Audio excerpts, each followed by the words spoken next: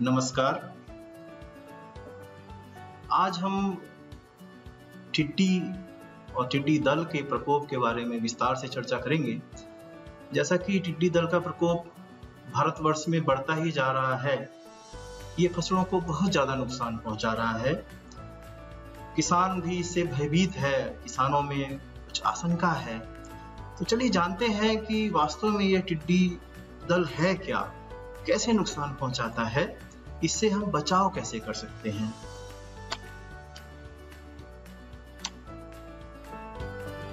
टिड्डी एक कीट है, कीड़ा है, जिसे हम आम बोलचाल में ग्रासहॉपर कहते हैं। ग्रासहॉपर दो तरह के होते हैं।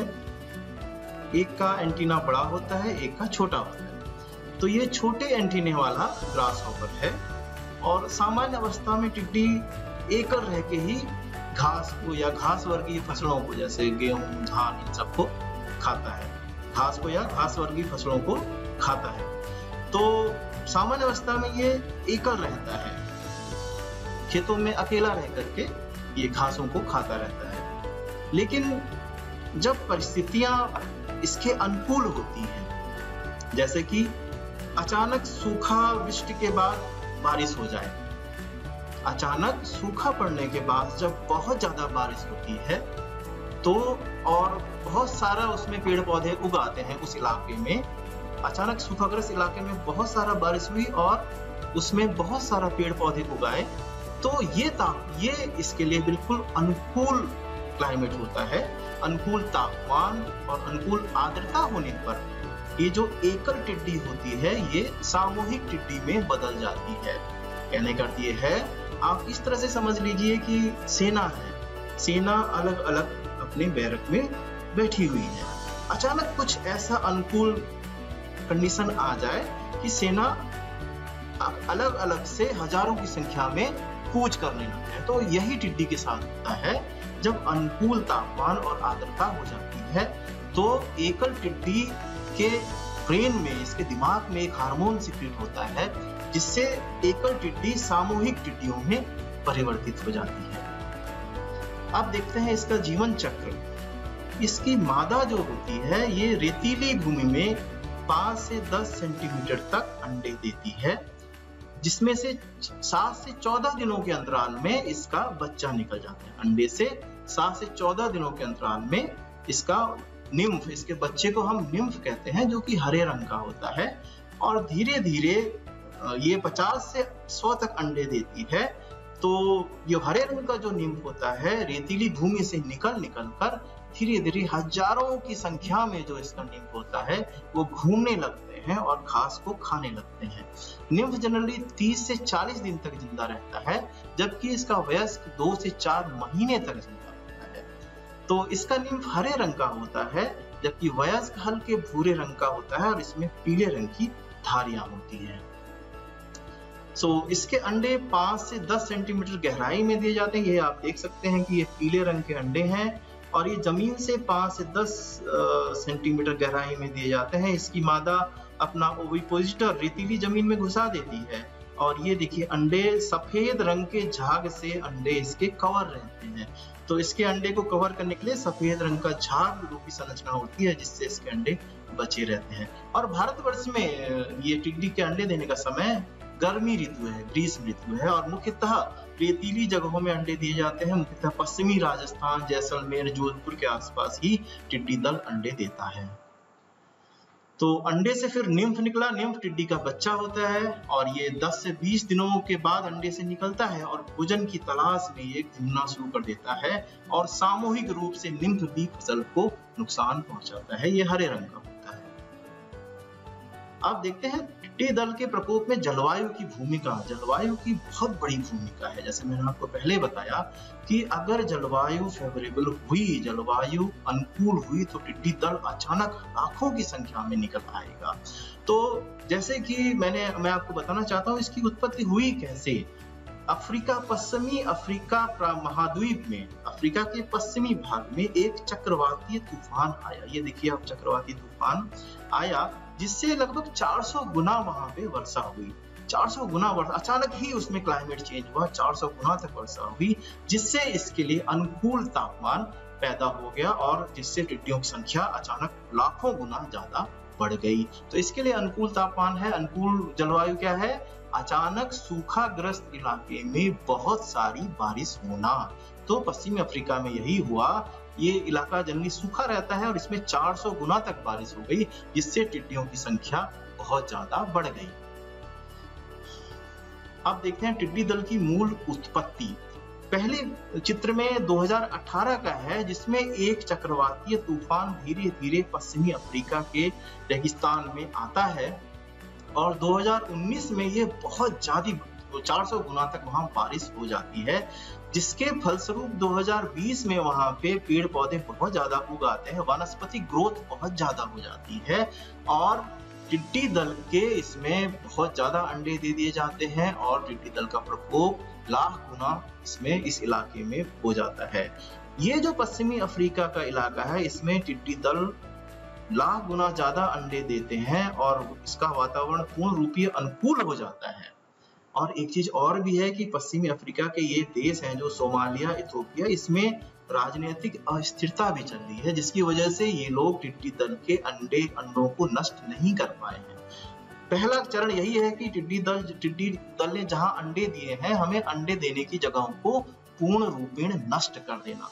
तो ये उसका मैनेजमेंट ढंग से नहीं कर पाए।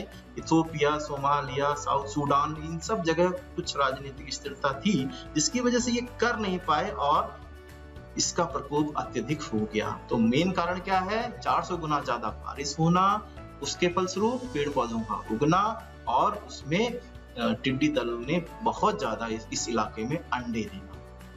और इसके बाद जो पश्चिमी हवाएँ चली, जो पूरब की ओर, पश्चिम से पूरब की ओर हवाएँ चली, उससे टिड्डी दल धीरे धीरे माइग्रेट करते हुए पाकिस्तान, ईरान और पाकिस्तान होते हुए पश्चिमी भारत में प्रविष्ट कर गए। तो ये टिड्डी दल सीधे पाकिस्तान और ईरान से नहीं आई है, इसकी उत्पत्ति पश्चिमी अफ्रीका से हुई है। पश्चिमी अफ्रीका, ईरान होते हुए ये पाकिस्तान और भारत के पश्चिमी इलाके में राजस्थान, पंजाब तक ये 2020 में इसका प्रकोप शुरू हुआ। अब ये देखा गया है कि भारतीय प्रायद्वीप में 30 साल बाद टिड्डी दल की विभीषिका देखी गई है। इतना भयंकर जो टिड्डी आया है, ये लगभग तीस साल बाद आया है। ये देखिए, आप लाखों की संख्या में ये उड़ते हैं और पेड़ पौधों को नष्ट करते हैं। तो भारतवर्ष में लगभग पचास हज़ार हेक्टेयर फ़सल तबाह हो चुकी है और आठ से दस समूह हैं टिड्डी के, जो कि एक वर्ग किलोमीटर का एक समूह, एक वर्ग किलोमीटर के बराबर एक समूह होता है। तो ऐसे आठ से दस समूह हैं, जो कि राजस्थान, पंजाब आदि इलाकों में अत्यधिक सक्रिय हैं। धीरे धीरे यह मध्य प्रदेश के इलाके में भी आ रहा है और धीरे धीरे इसका अगर इसके में सावधानी नहीं बरती गई तो ये और आगे वाले इलाकों में भी आ सकता है। अब भारत में टिड्डी दल का प्रकोप, जैसे मैंने पहले बताया था, इस मानचित्र के हिसाब से ये राजस्थान होते हुए मध्य प्रदेश, पंजाब जा रहा है, मध्य प्रदेश के पश्चिमी इलाके में जा रहा है, और अगर हवाओं का रुख अनुकूल रहा हवाएँ अगर उत्तर की ओर या उत्तर पश्चिम, उत्तर पूरब की ओर बही तो ये दिल्ली और पश्चिमी उत्तर प्रदेश के इलाकों में इसकी संभावना है। घबराने की बात नहीं है। अगर हवाओं का रुख रहा, तभी ये ऊपर की ओर आएगा, नहीं तो ये नहीं आएगा। हालाँकि इस इलाके में पश्चिमी राजस्थान, मध्य प्रदेश, पश्चिमी मध्य प्रदेश के इलाके में इसका प्रकोप काफ़ी ज़्यादा इससे नुकसान कितना होता है? एफएओ के अनुसार चार करोड़ टिड्डी दल पैंतीस हज़ार लोगों के बराबर भोजन खा सकता है। पैंतीस हज़ार लोगों के बराबर चार करोड़ टिड्डियों का दल भोजन खा सकता है, जबकि एक टिड्डी दल में चार से आठ करोड़ कीट होते हैं। तो अगर एक टिड्डी दल आ गया तो पैंतीस हज़ार लोगों के बराबर भोजन ये खाकर ही जाएगा। और इसकी रफ्तार लगभग 20 किलोमीटर प्रति घंटा के अनुसार ये काफ़ी तेज उड़ता है 20 किलोमीटर प्रति घंटे की रफ्तार से ये उड़ सकता है। अब आइए इसका प्रबंध कैसे करें? प्रबंधन कैसे करें? टिड्डी दलों की रोकथाम कैसे करें? अब देखिए, रोकथाम के लिए हमें सबसे पहले जहाँ टिड्डियों ने अंडे दिए हैं, हमें उनके अंडों और बच्चों को नष्ट करना है। सबसे पहली रोकथाम तो अंडे बच्चे जनरली इसके पश्चिमी राजस्थान या राजस्थान के इलाके में रेतीली भूमि के नीचे ये अंडे देते तो अंडों को कुछ एक रसायन के हिसाब से हम नष्ट करते हैं रसायन छिड़क करके उनको नष्ट करते हैं। जहाँ जहाँ टिड्डी दल ने अंडे दिए हैं उसमें हम अगर ट्रैक्टर से जुताई करा दें बढ़िया से उसको न, उस, इस हिसाब से ही उसको हम नष्ट कर सकते हैं। और इसके नष्ट करने के लिए कई तरह के रसायन भी रिकमेंडेड है। Malathion 96 percent ultra low volume एक लीटर प्रति लीटर की दर से छिड़काव किया जाए। मैलाथियोन 5 परसेंट डीपी का 20 से 25 किलोग्राम किलोग्राम प्रति हेक्टेयर से छिड़काव किया जाए या क्यूनोल्फास का छिड़काव किया जाए, ज़मीन में मिट्टी में मिलाया जाए तो इस तरह से हम अंडों को, टिड्डी के अंडों को नष्ट कर सकते हैं। अगर अंडे एक बार नष्ट हो गए तो उसमें से टिड्डी की बच्चों की निकलने की संभावना कम होगी और हमें टिड्डी दल के प्रकोप से मुक्ति मिलेगी। तो सबसे पहले टिड्डी दल के अंडों को नष्ट किया जाए। ये जनरली ये सरकार करती है, कृषि विभाग ये काम करता है कि घूम घूम के सर्वे करके देखा जा, देखते हैं कहाँ कहाँ टिड्डी ने अंडे दिए हैं और खोज खोज के उसके अंडों को नष्ट किया जाता है। ये काम जनरली राजस्थान और पश्चिमी मध्य प्रदेश के इलाके में जहाँ जहाँ अंडे देने की संभावना है, जनरली ये रेतीली भूमि में अंडे देते हैं तो इन जगहों में खोज खोज के अंडों को नष्ट किया जाता है। लेकिन अगर टिड्डी दल आपके इलाके में आ ही जाए, तब क्या अंडों का काम तो चलो ठीक है, सरकार कर देगी, लेकिन टिड्डी दल आपके इलाके में अगर आ जाए तो क्या देखिए, सबसे पहले हमें सचेत रहने की ज़रूरत है, कृषि विभाग को सचेत रहने की ज़रूरत है। टाइम टू टाइम हमें पता होना चाहिए कि टिड्डी दल पहुँचा कहाँ पे है। अगर आपके इलाके में उसके आने की संभावना है तो गाँव वाले सब लोग इकट्ठा हो जाइए, एक साथ समूह, सामूहिक रूप से कार्य करें। एक साथ थाली बजा करके, ड्रम बजा करके, ढोल बजा करके, तेज आवाज़ में शोर करना चाहिए। अगर टिड्डी दल आ रहा है तो हमें थाली बजा करके, ड्रम बजा करके शोर करें ताकि उसकी आवाज़ से वो थोड़ा आपके खेतों में ना रहे। या हम वो ट्रैक्टर, बाइक आदि के हॉर्न भी बजा सकते हैं, खेतों में आग जला करके। अगर देखिए, टिड्डी दल जनरली शाम के समय ये आ रहा है, अगर रात के, शाम के समय खेतों में बैठ रहा है तो पराड़ी जला करके, आग जला करके इसको दूर भगाएँ। पराड़ी या आग से ये दूर भागता है। तो क्या करें? थाली बजाएँ, ड्रम बजाएँ, शोर मचाएँ और घास फूस या पराड़ी जला करके, आग जला करके इसको दूर भगाएँ। फिर भी टिड्डी दल अगर आपके खेत में बैठ जाता है, चलिए 50 परसेंट अगर भाग भी जाता है तो 50 परसेंट आपके खेत में बैठेगा। अगर बैठ जाता है तो शाम या रात के पहर में कीटनाशक रसायनों का छिड़काव करें। तो प्रमुख अगर इसके बावजूद भी ये बैठ जाता है तो कीटनाशक रसायन का छिड़काव करें। इसमें क्लोरपारीफॉस 20 ईसी का 2.5 मिलीलीटर प्रति लीटर क्लोरपारीफॉस 50 ईसी का 1 मिलीलीटर प्रति लीटर डेल्टा मैथ्रिन 2.8 ईसी का 1 मिलीलीटर प्रति लीटर फिप्रोनिल 5 एससी का 0.25 मिलीलीटर प्रति लीटर लेमडा साइहेलोथ्रिन 5 ईसी का 1 मिलीलीटर प्रति लीटर, मेलाथियोन 50 ईसी का 3.5 मिलीलीटर प्रति लीटर और या मेलाथियोन 25 डब्ल्यूपी का 7.4 ग्राम प्रति लीटर। इनमें से कोई भी आपको कीटनाशक मिल जाता है। अगर टिड्डी दल आपके खेतों में बैठ जाता है तो रात्रि के समय अच्छे से कीटनाशकों का छिड़काव करें, बढ़िया से कीटनाशकों का दो चार बार कीटनाशकों का छिड़काव करें, जिससे जो कीटनाशक आपके खेतों में बैठ गया है सॉरी जो टिड्डी दल आपके खेतों में बैठ गया है, उनको, उनका खात्मा किया जा सके। तो मैं दोबारा दोहराना चाहता हूँ, अगर टिड्डी दल आपके खेत में आ भी जाए तो क्या करें? खूब हल्ला मचाएँ, ढोल बजाएँ, थाली बजाएँ, तेज आवाज़ में हॉर्न बजाएँ, आग की पराड़ी जला सकते हैं, धुआँ करें, आग जलाएँ, मसाल जला कर सकते हैं। इससे आपके खेतों में कम टिड्डी दल बैठेगा और अगर बैठ भी जाता है तो इन निम्नलिखित कीटनाशकों का अच्छे से इसमें छिड़काव करें। तो इसमें घबराने की ज़रूरत नहीं है, फिर ऐसा करने से आपके खेतों का बचाव होगा और टिड्डी दल आपके खेतों से दूर भागेगा और आपकी फ़सल सुरक्षित रहेगी।